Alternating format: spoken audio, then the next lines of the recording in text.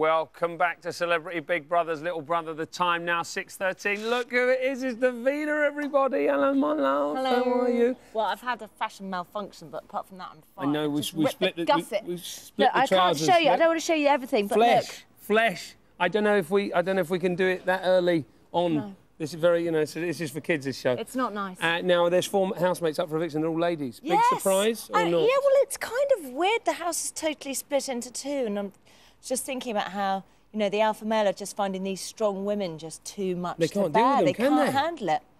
They can't handle it, and it's very emasculating. Coolio's the one that will not take it. Well, no, he's, he's got some fairly old school views on, yeah, on he's, men well, and he's women. Uh, like an alpha male, isn't he? He needs women to be in the kitchen, and he needs to be taking. We've got a lot of questions coming from our Yes. viewers. Uh, can I call the big-handed? Come in, Yes. big hand. Come on. in. Right. Woo! Off.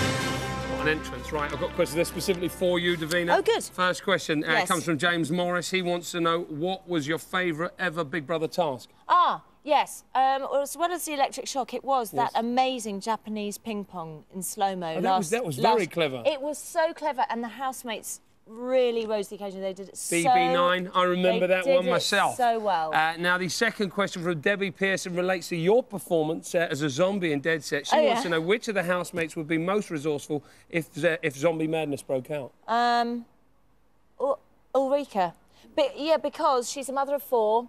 And she's good in a crisis, I would imagine, and she knows how to organise chaos. Right, OK, she knows how to deal with the Yeah, situation. yeah, OK. yeah. And the last question for you uh, is uh, from Frances Thomas, and, uh, and she wants to know what does Marcus Bentley, the, uh, the Big Brother voice, look like? Well, he's lovely, actually. I just met him for the first time the other day. It was It's really weird. weird. I was just It's like, quite weird, oh, isn't it? How And you his getting on, voice George? comes and out yeah. of His him. mouth, that's mental. Amazing. He's got dark hair Yeah. and he's lovely looking, but he's a legend. Shall I tell you why? Because his wife had a baby, and after you've had a baby, you go for a six-week checkup. When she went for the six-week checkup, she was pregnant. oh my God! He- I don't That's find him that scary. legendary. Look. Anyway, look. thank you very Look. much, Davina. That's Big Brother Bye-bye, history, that You is. Have a good night tonight. George, I love We're you. off. Thank Bye. you. Mm. Cheerio. So gorgeous. Now, Oh uh, I'm sorry for scaring you. Uh, now, uh, still to come, I'll be talking to the friends and family of all four of tonight's eviction nominees, and Ian Lee will be here